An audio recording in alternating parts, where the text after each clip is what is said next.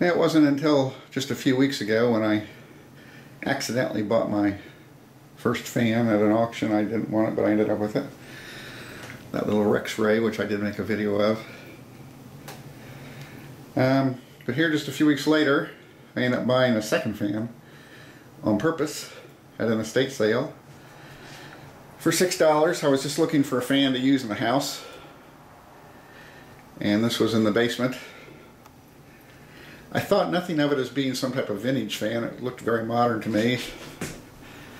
A Penncrest. It had lots of nice controls. Thermostat. Reversible. And this is the back. But it wasn't until I went to plug it in that I began to think maybe this is older than I thought. It had a very wimpy two-prong plug on it, which didn't strike me as anything that would have been approved in the later years. I began to research it and see what I could find out, try to find out how old it was. Alright, here's the inside of the front from the front grill. It's a Lakewood.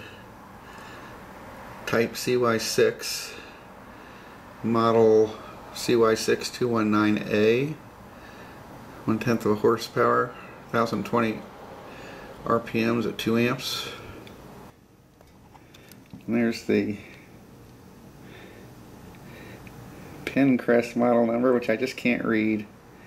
Looks like it says C something doesn't it? I don't know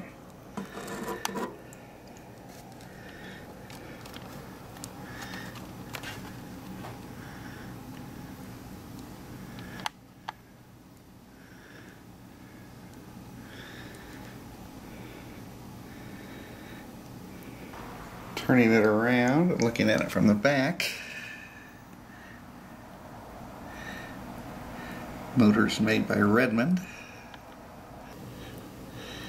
Looks like the vibration mount is made by Lord in Erie, Pennsylvania.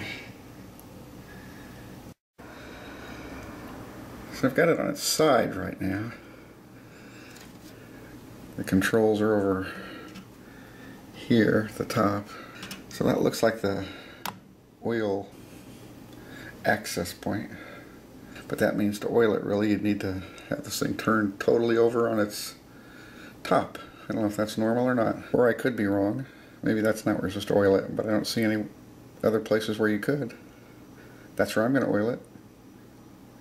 You know, as I look at a couple bits about this fan, I wonder if it was meant to be a window fan.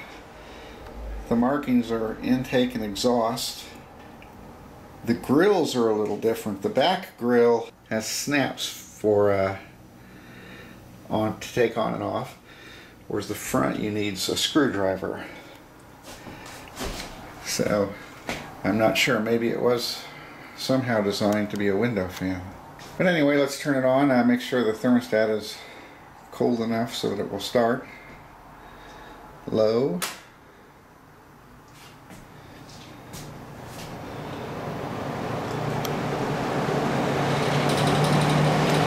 Got a little rattle because the screw's missing on the front of the, there's a screw missing on the lower right of the grill here. I need to replace that.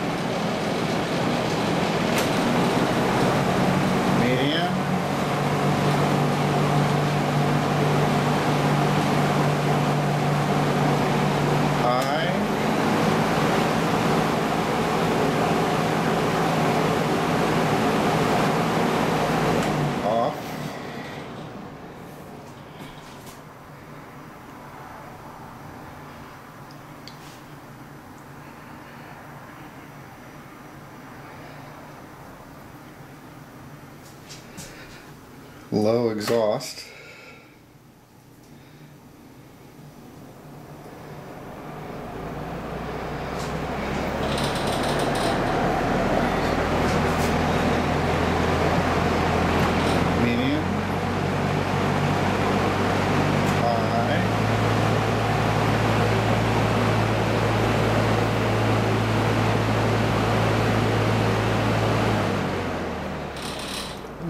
Thermostat shut it down. So it runs well. Of course, trying to find out how old it was would have been easier if I could have read that model number, which I just can't. But stuff I read on the internet showed that Lakewood stopped using Redmond motors sometime in the 50s. And also I read something where the Lake Vibration Company moved from Erie, Pennsylvania sometime in there. So that might make this much older than I thought, maybe a 50s. Uh, whatever it was, it's hu hugely heavy. It weighs 30 pounds. I'd actually started carrying it around at the estate sale when I found it in the basement, but it was just so darn heavy I put it back because there was other things I wanted. And then later, after I got stuff out of my car, I went back and uh, it was still there. So I spent the six bucks and picked it up. But if anybody has any information on this fan, of what year it might be, or the model number, it looks like it was kind of a primo model at the time. Um, I'd kind of like to know a little more about it, but it's actually going to be a used fan. This is not going to be sitting like the little Rex Ray. So, um, if you have any information, let me know. Thanks for watching. Bye.